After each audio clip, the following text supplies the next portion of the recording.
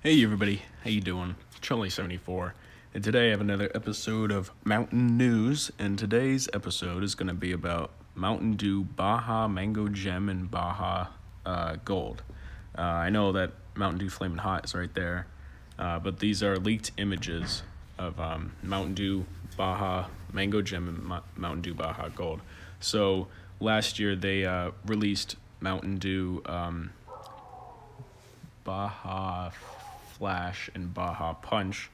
Baja Punch being a uh, you know fruit punch flavor, and then Baja Flash being a coconut pineapple flavor. Um, Baja Gold seems to be just a uh, new pineapple flavor.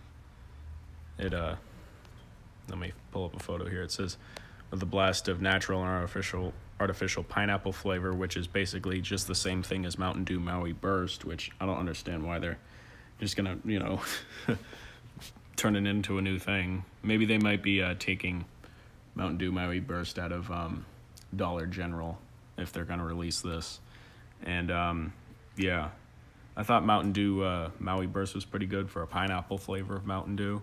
Um, I bet this one's just gonna taste the same as that one.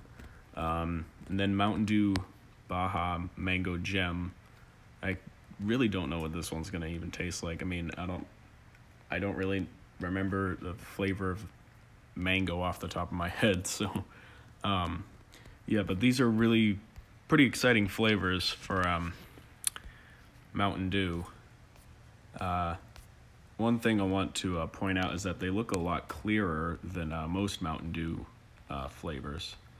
See, uh, if you can see here, um, Mountain Dew Flamin' Hot, this uh, leaked image, looks a lot foggier um, than these two um, Mountain Dew Baja Golden, Mountain Dew Baja Mango Gem, which is, it kind of seems like they're as clear as like a Mountain Dew Zero Sugar flavor. I don't know, just they seem a lot uh, clearer to me, in my opinion.